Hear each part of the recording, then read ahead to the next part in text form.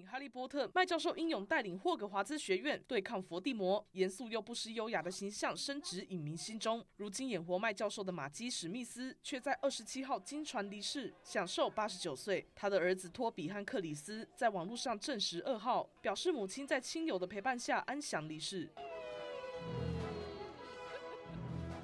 马基史密斯从影超过七十年，从舞台剧、电视剧到电影都获奖无数，更是少数获得表演奖大满贯的演员。最出名的角色莫过于《哈利波特》的麦教授，或是影集《唐顿花园》的格兰瑟姆伯爵夫人。I am a teacher.